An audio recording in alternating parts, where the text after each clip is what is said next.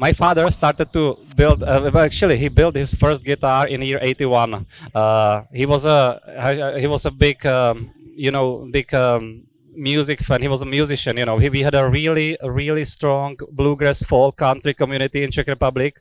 Uh, back then, it was uh, it kind of gathered people who uh, who were against the communism regime. It's so so there were a lot of people who were against the communism regime. So they they they kind of gathered under this like American American American music roof. It was it was a very very very strong community. Uh, he was part of it. He was a musician. He wanted to play music. He, he was playing music. He was winning the competitions and so on. Uh, but um, the problem of uh, the musicians back then was that uh, they uh, just didn't have the access to uh, good instruments. You know, we uh, the, the, the local production. Um, by local, I mean the, basically the Soviet Union production was very low quality um, because just the communism system doesn't really produce quality. It's just not working this way. Uh, on the other hand, import from Western countries, from United States or Western world was uh, possible. Yes, it was technically possible, but it was very expensive and very very complicated. You know, the the the the guitar, good quality guitar from the West, from the United States, for example, could cost you like like new car. You know, it was even even the rubbish guitar from the United States could cost you like like like like the car. It was it was really really uh, really uh, bad in that way. So he said, okay, I build one for myself. Now how to how to do it? He made a he made a plaster mold for the round back of the ovation style guitar and uh, he made a fiberglass back actually. So he put a put a, put a, put a fiber you know on it and and epoxy it and so on and made a fiberglass fiberglass uh, back of that guitar. He uh, he bought the piano from the neighbors in in the village where he was living, living back then and he had like a three sets for top board you know for a soundboard. So uh, he made this soundboard you know from that. And uh, he finished the neck and somehow put it together and then he brought it to um, he brought to rehearsal, to, to the gigs and so and and when and when um, uh, his um, friend uh, uh, friends saw that, you know, the, the, musicians and so on, I say, okay, František, well, well, I want the one as well, you know. How much money? How, want, what do you want for it? You build me one, and that's how he collected first orders. And we are still talking about 80s, so communism time. And uh, one thing uh, which uh, it's common in communism is that you cannot make money just like that you know. You cannot make stuff and sell it to to to to uh, to somebody because and, and accept the money for it. Uh, you cannot do it. It's actually very illegal. There is a jail sentence for that activity.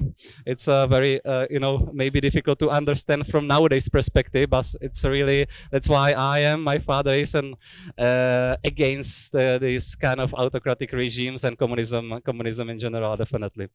So um uh, so uh, yeah, he was doing uh, do, uh, he was making guitars for his friends after he got back from the factory, which which was which he had to had he had to attend the factory. You know, he had to work in the factory, and then in the evening he he he made some some guitars for his friends.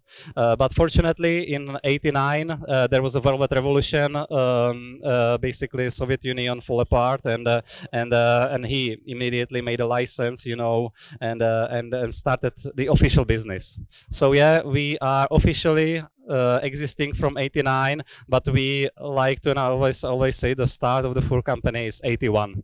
Uh, my father's profession is uh, he's a, he's a metal worker. He knows how to you know make different uh, jigs and tools, you know, and, and simple machines, uh, and uh, and basically he's uh, so he was you know making small just a tool how to, for for you know uh, routing the bridges you know or uh, um, or or or milling the rosette um, rosette rosette um, inlays and so on and uh, and shaping the necks and so on. So he was really really um, uh, he, he's got this kind of i would say really great level of imagination actually what happens with the material and how to how to design the machine so it works it's a it's it is uh, it is it's it's his really strong suit. He, he, he likes it very much. Even nowadays, uh, my father doesn't have an executive role in the company, but he still does come and we, he still does. If we, if we have some like a simple machine with a simple pneumatics, not so much electronics, it's a mechanical thing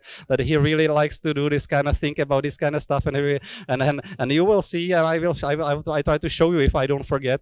Um, there are quite a few machines which maybe has been built 20 years ago and he still still use them uh, some of them definitely. So that's a uh, that's his strong suit and this is this was basically uh, forming for guitars as a as a serial serial production and and um, not uh, not the custom build kind of kind of company. That's that's that's how we were forming.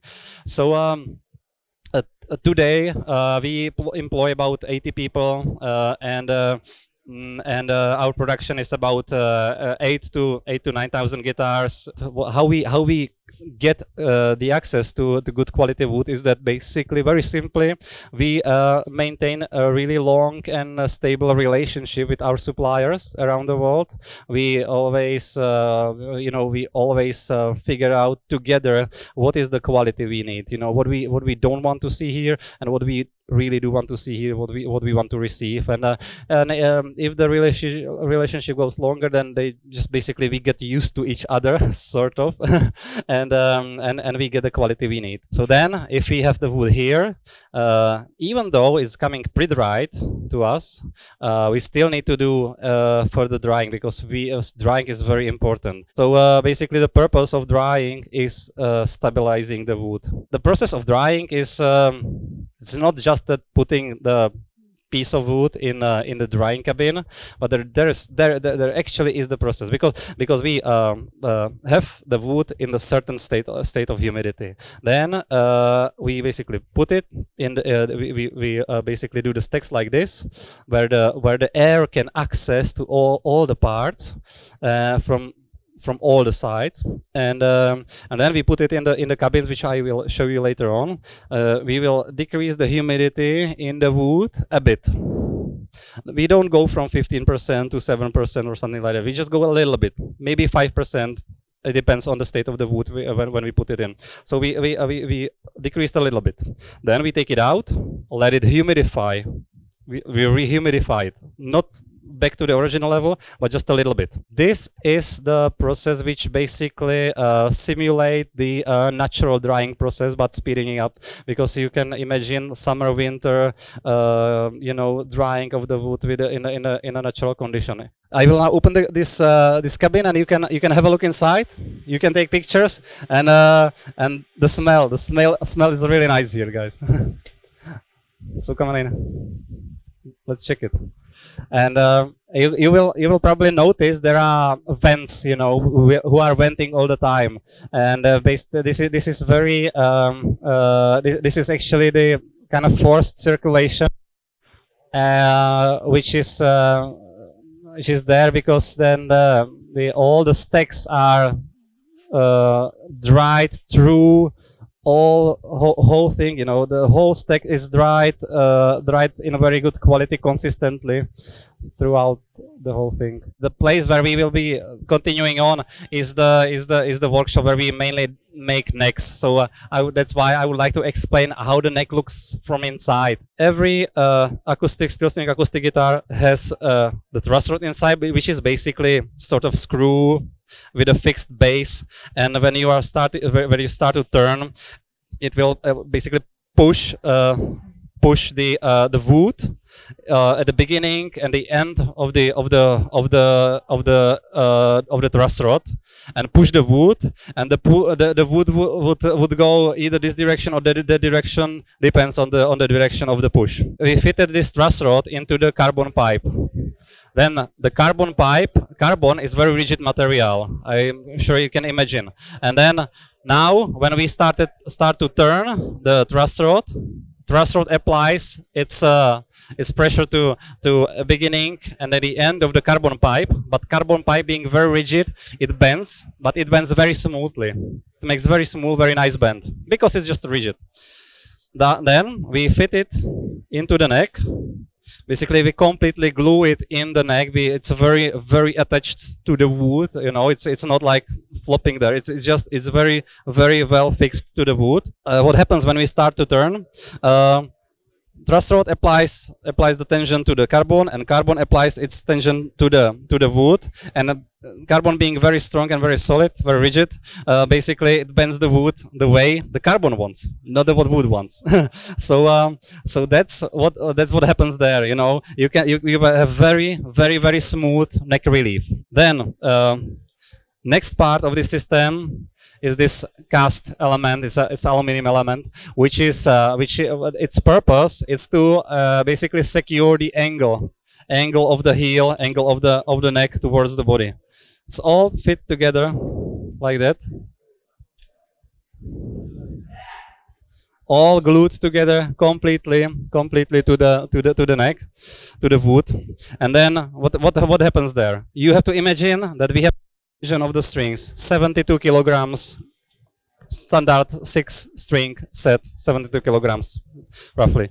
So uh, so uh, then it's uh, it's always attached to the body like this. And and with the, with the 72 kilograms of the leverage basically here you have a, the guitar every guitar basically has a tendency to kind of collapse in. Uh, we don't want that uh, and uh, nobody wants that actually. So so traditional way uh, secure this in the guitar construction is to fit big block inside of the body to be able to hold this big tension, you know, big load. If you are using wood, you really have to have a big block, you know. But we are not using wood. We are using uh, metal. So we can have this small element inside, uh, hidden actually inside of the of the heel, which is making this angle solid.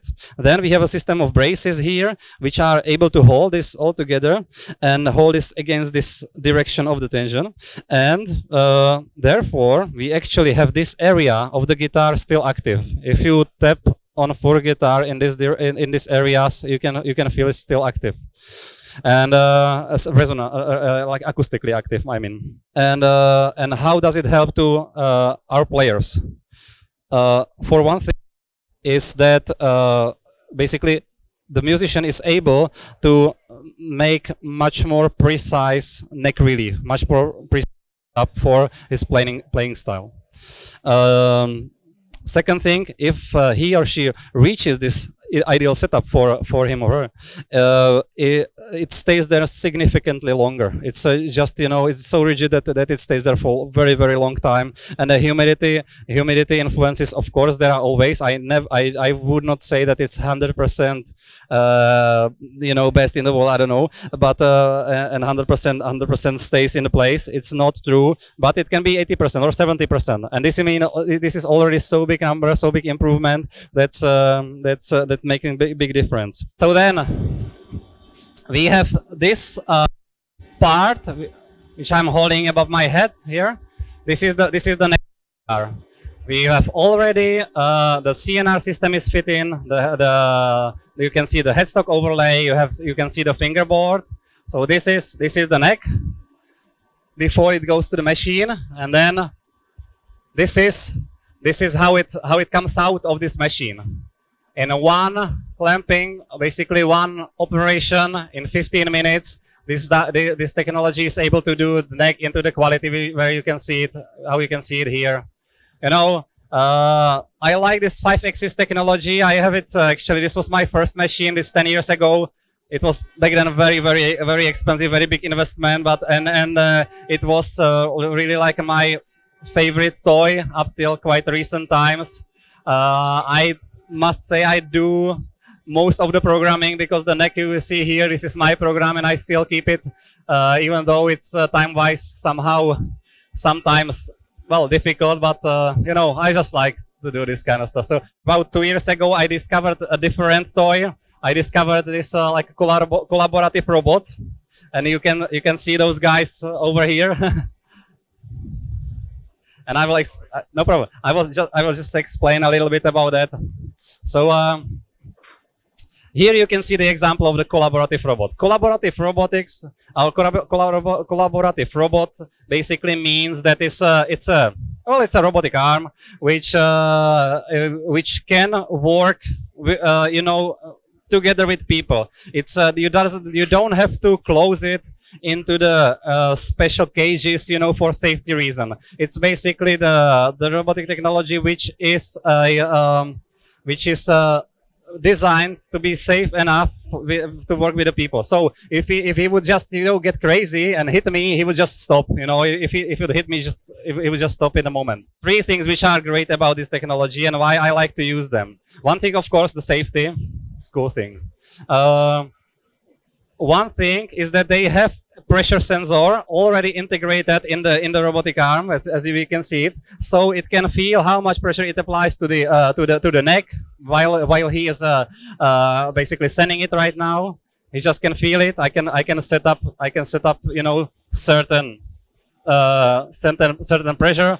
Uh, i don't know 14 newtons 20 newtons 4 newtons. And uh, and it will it, it, will just you know adapt its way and and and trying to keep this this uh, this pressure applied.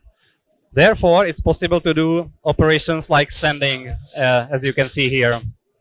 Uh, well, second thing, or second, uh, this was second thing, and the third thing is that uh, the way these things are programmed is absolutely like you know, if you remember, I don't know, uh, Windows phones and iPhone.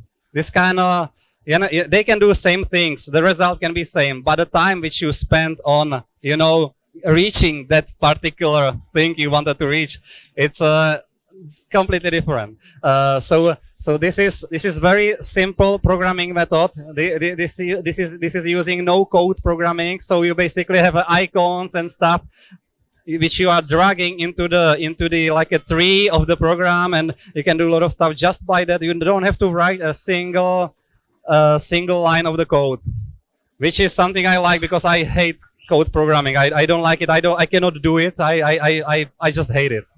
And uh, and uh, and this is the future of um, of uh, I think these kind of machines is actually the future of uh, of production in the developed societies like European, American. This is the threat, and that's that's how it looks like.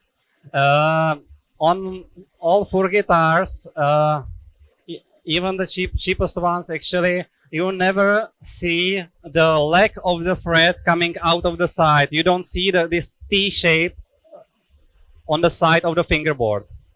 Uh, that's because we always cut away these uh, edges of the of the of the of the legs of the thread. The, there is a reason for it. This is not just a visual thing. Um, uh, we when we press in the threads, we fill this remaining gap with a soft material, actually soft sealing material. So when there is an expansion eh, or shrinkage of the fingerboard under different humidity conditions, the reason why we're doing it is that, of course, if you have a if you have a shrinkage of the fingerboard and uh, and the leg would come out, it destroys the lacquer and if it if if then it goes uh, if it, can hurt your fingers when you're playing but it, it destroys the lacquer to repair the this kind of damage on the guitar it's quite a tough job. I'm sure you know it because uh, yeah if it happens you have to resend it respray it and uh, this is tough job. This is this doesn't happen on Furch guitars. It makes life uh, with Furch guitar easier for for our customers. And it's a good example of the approach we have because you know the all the technology and all the all the all the um, how the way we are organized so on we are we don't have so big problem to um, uh, to make really really high quality instrument straight in the factory straight from the factory. This is not a problem we have. We have uh, uh, what what we are looking into in our uh, research and development is what happens with the guitar in one year time in a five years time in a 10 years time actually. So uh, we are trying to find the solutions like that, which just make the living with guitar, with Furch guitar easier for, for our customers. Here in this room, it's kind of separated room, we, uh, we make uh, tops and backs. So the top of the guitar is the most, single most important part of the guitar influencing the sound. If you're talking about sound, this is the, this is the, the, the most important, what you see here. Now the top board has a two, you can, uh, you can split, the, split it into two main parts uh, top board itself and the bracing.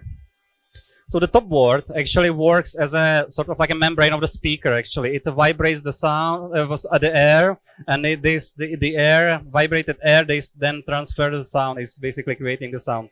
So um, mm, uh, this uh, uh, this top, of course, uh, this its physical properties are very very very important.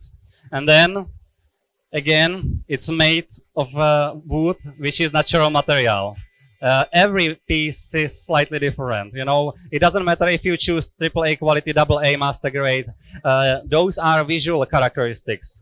But uh, the, um, the, the physical properties, this is not related to the to the quality, uh, uh, to the to the to the to the to the grading system, AA, AAA, and so on. So basically, what it means, we have to approach every single guitar individually. We have to treat the top individually. And we, we have a certain system, we call it voicing.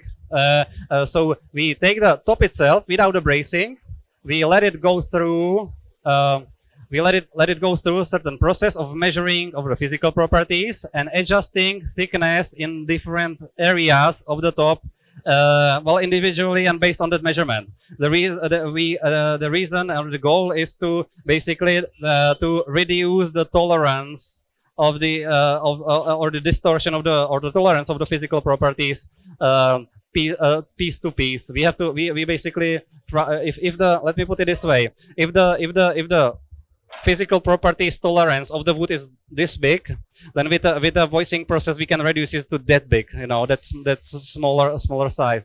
Therefore, the sound of our guitars is uh, okay, not 100% same because still there are a lot of lot of uh, different things who influence uh, the the sound. But the, I would say the quality of the sound, what you can expect from our guitars, you can you can expect certain quality, and and this is there simply because we're doing this voicing process is done on every single guitar. Little Jane has it, Violet has it, every single guitar has it. It's very, very, very important thing. Then we have the bracing.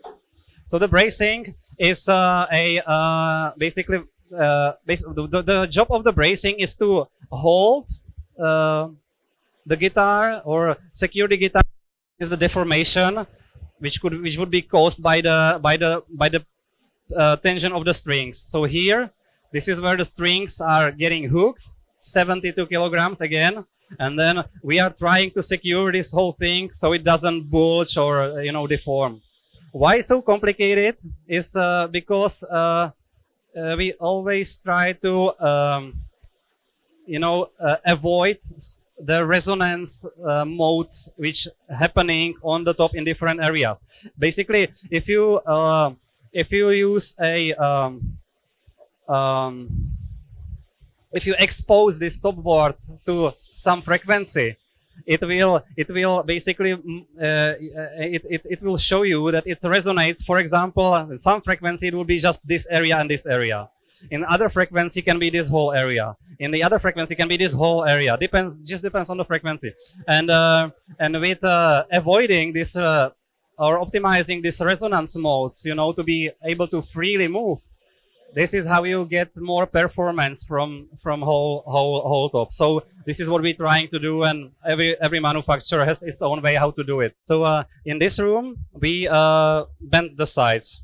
Yeah. So uh, the, to bend the sides, we need to uh, achieve certain state of the wood, which is called plastification. Basically, it means that the uh, the the cells of the wood are sort of flexible and they get you know they get deformed as we want them and, and without breaking.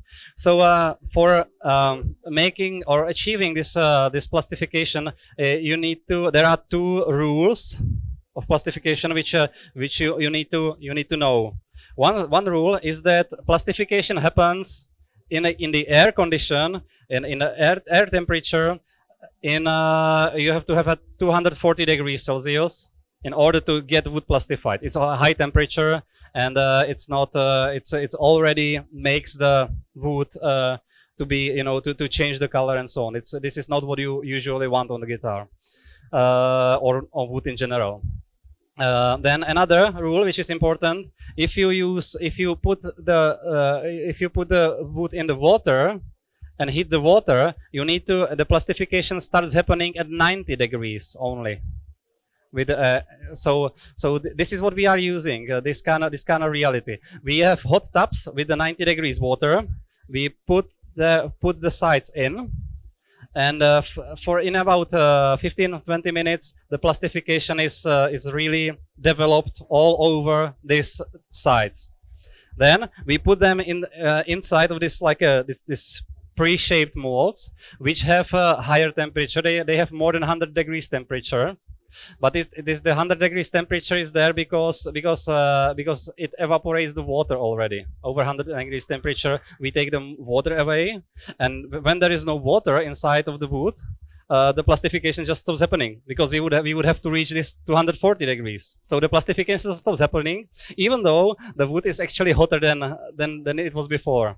So uh, with, with knowing that and using that uh, we and, and, doing doing it like that we can we can take 100 degrees temperature wood out of the out of the out of this this mold and it's already already stays in the shape like this. You can see how how well it's holding the shape of the guitar. It's kind of familiar right? So so uh so this is this is the technique. We can basically put together whole body. Uh, it's done on this floor but uh, but i wanted to show you well when it's when it's all put together it already looks kind of kind of familiar. It already looks like a guitar.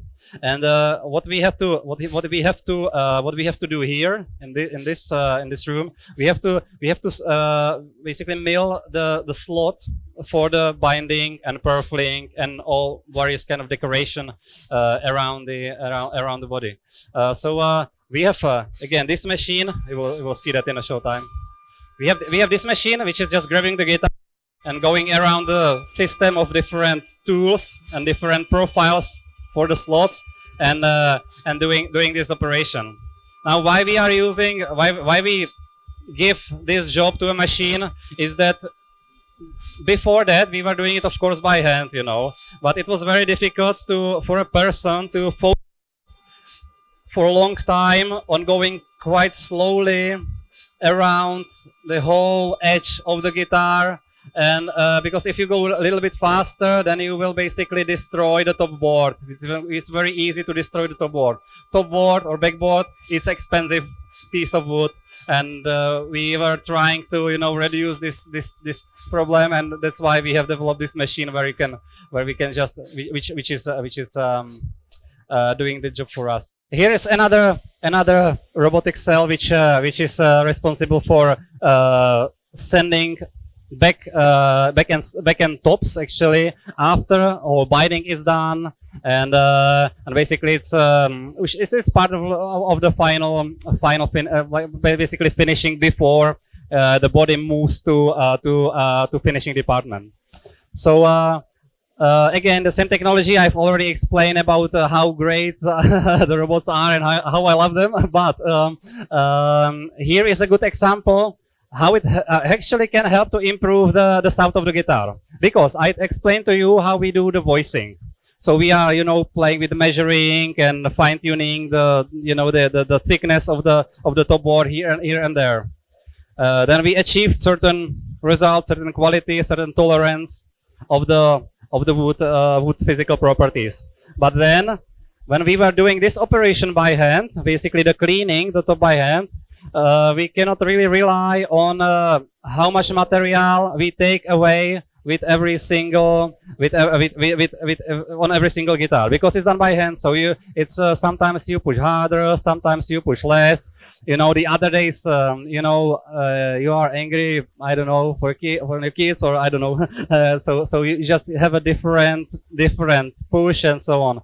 And so you take off different amount of material and this is the distortion to a voicing process because we've been playing with it down there uh, and uh, now it's uh, now we would distort it with a very different uh, input of the of the of the of the human hand. Right now we don't have that problem because uh, because this is this is very uh, you know very consistent technology all the time the same and we can actually we can actually fine tune the voicing process using this technology. We can we can be more precise in voicing so binding, yeah, Alishka is working on, on it right now. Uh, so bi binding is actually, you know, a good example on a really cool craftsmanship. You know, it's a, it's, you need to be very precise. It's a, it's a, it's tough job, you know. even physically a little bit, yes. But uh, you know, you really have to have to know how to how to you know how to handle material like like you know wooden binding, koa binding, how to bend it without cracking it and so on, or breaking it. Uh, and uh, it's um yeah it's a tough job and and uh, and uh, I have I have you know um, I always explain that uh, here in this in this position actually it's, it's good to explain that that uh, I believe that uh, uh, achieve the, the great quality uh, in guitar production, but I think it, it, it, goes goes for every every production of whatever thing out there. Is that you know you have to uh, put together some sort of like a symbiosis of uh, of like a great hand craftsmanship and and uh, and the latest technology. I think this is this is the way how to achieve the results, and and this is I, I hope that our guitars are kind of proof of this uh, this approach because uh, it has to be all together. Uh, I don't even think about uh, how to automatize it because it's possible, but the quality would be rubbish. You know, it's uh, this is really better if the really skilled person does it. And the reason is also that you know what machines are good at. Machines are good at making basically same stuff repeatedly over and over and over and over again. And uh, and yes and they can achieve great precision in some some situations. A lot of situations actually. But what a person what's what's the, what's the, what people can do? What's the advantage of a, of a people? A, a person can uh, do a lot of like judgments and micro decision throughout the process. It's, it's, it's capable of complex thinking. And uh, if you imagine just here the binding, you know, you have the piece of wood, natural material. You are bending it over the uh, in the in in uh, fitting it into the cutaway. You know, it's a it's a quite tough bend, and and you are thinking, okay, should I should I push it a little bit more, or should I uh, should I uh, plastify it a little bit more, or what? How how how should I do it? This is a lot of micro decisions throughout the whole process machines cannot do it. It's, uh, it's just too tough for them. The inlays, this is the main main job of this of this of this place. So uh, we actually we have been fine tuning the the the laser beam actually, so it can do really really great detail work on the on the mother of pearl. It's actually something which again is not possible to do by the traditional method of uh, basically cutting cutting these pieces of the wood with a with a, with a, with a saw with a small saw because this would just be destroyed but the laser since it doesn't apply any any any tension it's just you know heating up the material and basically evaporating the material away this is this uh, it's possible to the, do this kind of like a detail work we are uh, a, in a finishing department we are doing the spraying polishing and everything about the finish here on this department now, uh, I always say that the finish is the second most important part of the guitar if we're talking about sound. You know, the second most important part, part influencing the sound. Uh, first one is the top board. Second one, because uh, because you can do really you can you can really improve the guitar with using the right finish and you can really kind of destroy the guitar using the wrong finish. It's uh, it's uh, not that difficult actually. Just you know imagine you know if if you would if, you have nice body voicing everything is done precisely. And then you would spray on a thick layer of very soft material. It would just kill the guitar. It would just kill the sound. But we are going the opposite direction. We are trying to do as low uh, thickness as possible uh, and basically as hard material as possible. It's not that simple but it's uh, quite uh, quite good explanation actually. Just just just just um, yeah for you to understand. You know, we, we had a we always had a trouble with finding the right material because uh, uh, I mean right material for spraying because uh, the you know the the lacquers and everything for the wood is mainly uh, done for the furniture industry and they don't care so much about uh, acoustic properties of the of their of, of you know table or chair and so on uh, so um, we really had to find our you know we, we had to find somebody uh, we, or we teamed actually we teamed up with a, with a company um, in Germany, which was which was kind of willing to work with us, give us the access to their uh, so some of their know-how, to some of their you know chemicals and some of some of their uh, some of their uh, to the to the lab laboratory of theirs, so we can do some tests. And basically, we were doing for for one year we were doing testing even here. We got actually the special appro- approved laboratory spraying room for UV finishes, which is usually not possible to send by hand uh, with, with people. You, you, you are not in an industry you are not allowed to do it uh, for UV finishes, but we have a special uh, we have a special lab a lab spraying room here proved uh, for that. And uh, but we were we were just uh, basically after my my office office time i was and after after after this floor was kind of finished and when, when my guys went home i come here and i was mixing additives and you know making making the stuff together. So we had we after after one year we basically had the the composition for the lacquer which we wanted. That was that was that was it. The the polish the guitar before with, with previous version of the lacquer took about one hour and now it's three hours.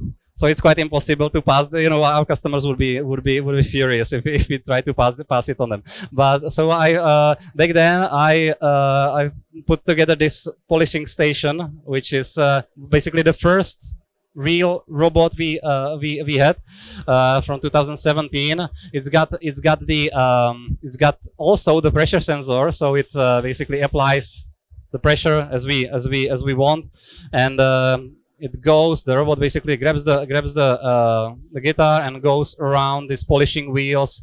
There is one uh, you can see the one polishing wheel is, is brown which is uh, sort of like a rough one. And there is another polishing wheel which which is yellow which is soft one. And and about 40 minutes to uh, polish the guitar. And then it takes to 5 to 10 to 5 to 15 minutes uh, till um, of, of the hand finishing fin finishing touches of the of the skilled uh, skilled uh, skilled person to just you know do, to, to achieve the quality. This is actually very helpful because if you imagine three hours of polishing by hand standing there like you know it's a it's disaster. Uh, i could not do it to my my guys. So uh, in this room actually the the the finished bodies finished necks come together and the purpose of this yes this is exactly. This is this is the this is the assembly assembly part. So uh, we have to put those two parts together. Then uh, to put them together right? We have to follow certain rules of geometry. So basically the flat of the neck has to point out uh, to a certain height over the top board. And of course the axis of the neck has to be aligned with the axis of the of the body. Uh, and um, and to do that uh, we well we used to do that uh, many years ago before. We we used to do that the way that that this part we were kind of kind of cutting uh, cutting sanding then fitting it to the guitar checking well if we done it uh, good or bad and uh, then mm, first time usually is bad because you're just checking the, basically the situation and then you dismantle it again do the job again and uh, and so on so on. So uh, uh, you know uh, it's uh, it took a long time. It's uh, it's about 30. Even the skilled person, it took about 30 minutes to to do it properly. And um, and uh, yeah, it's uh, it's it's long time. There is a lot of manipulation. The manipulation in this stage of um, um, of um, value of single part is uh, quite. Uh, you don't want a lot of manipulation because every manipulation there's a risk of damage. And damage here in this uh, this part when when everything is finished uh, it's uh, it's very uh, it's very difficult to repair yeah.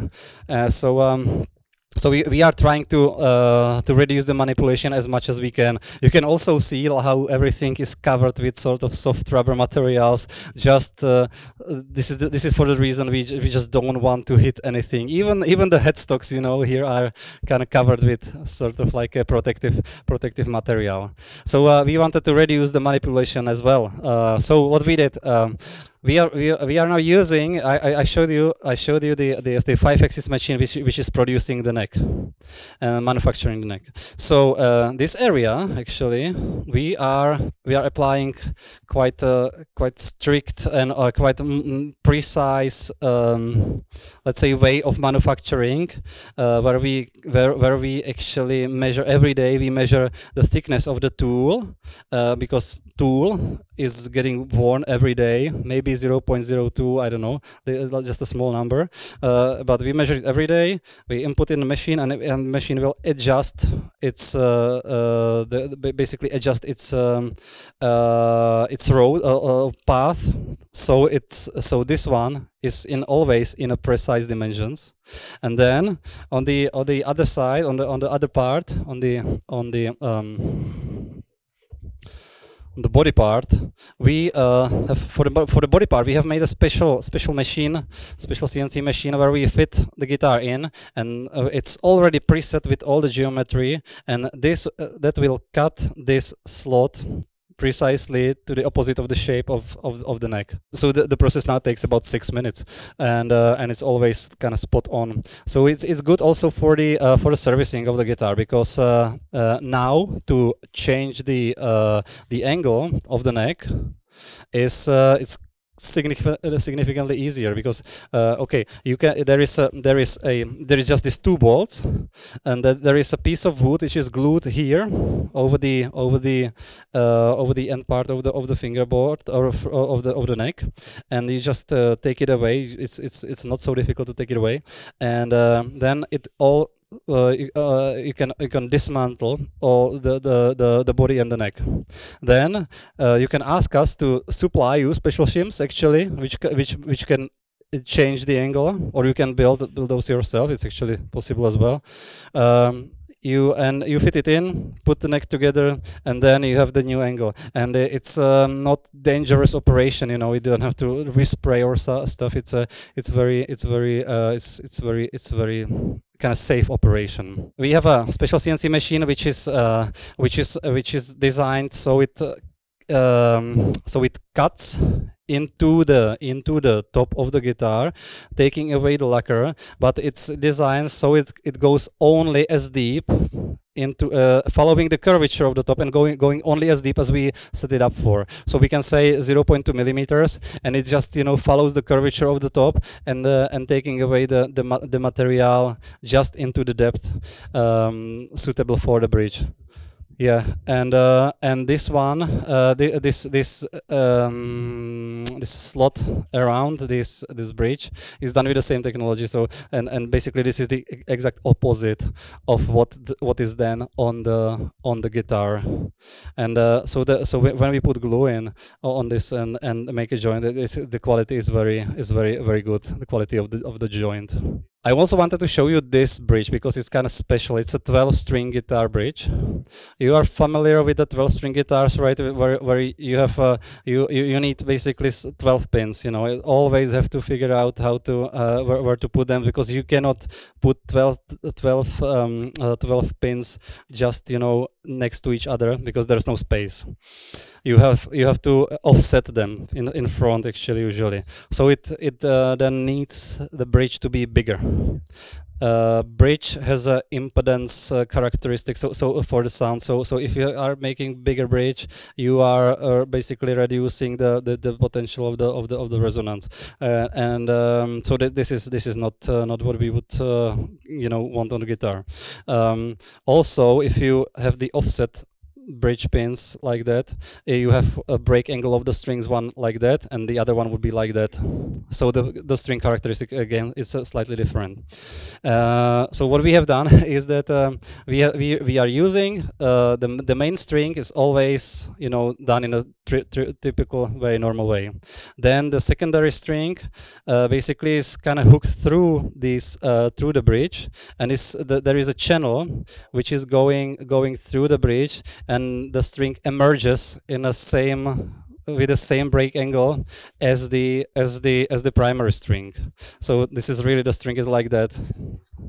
And uh, thanks to that system or th thanks to that solution we uh, could um, uh, we could actually make the bridge almost the same size as a sixth string which is uh, which oh, this is almost the same size. I can actually prove that it's almost as I almost the same same size. An interesting thing is that uh, we actually set up guitars here to the lower setup than it we would than it then would be ideal.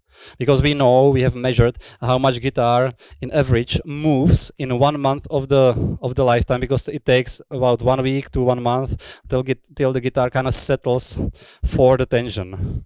And uh, we just you know go ahead and we just make a setup a little bit lower and uh, and and basically the guitar over over over first first uh, weeks of life just you know kind of settles down into the ideal ideal setup. That's what we do. This is how we uh, you know helping reduce the uh, uh, the reduce the work on the side of our dealers and distributors with pre-sale service. So yeah that's a kind of interesting thing. I really wanted to have this experience for for players even in a in a lower lower lower price spectrum. So um, uh, we had to go away from the wood because the, the, having the wooden bevel this was the tough, tough very tough thing. So uh, what we did we are we have made this uh, the, the, plastic bevel for these guitars and we uh, decided to to to to make them with a 3d printer because 3d printer has a with 3d printing we have a possibility to optimize and improve over time. If we would just mold it injection mold it then we would have very expensive mold and we cannot change it over time. It would be uh, very very difficult. So that's why I you know use this 3d printer because because i like the flexibility in, of, of this technology so we are now making for example this is this is part for the back bevel you know uh, you have it like that on the guitar and the basically the slot for that is is precisely cut with a cnc machine in the factory and then we basically just fit it in and this one goes straight to the center of the guitar. And then actually we have uh, we have this kind of this this this part this small part to fit on the on the other side. And then the the binding is then joined from here on. So uh, this is very this is making a really nice quality in details a very nice quality of the of the of the bevel. It looks looks really great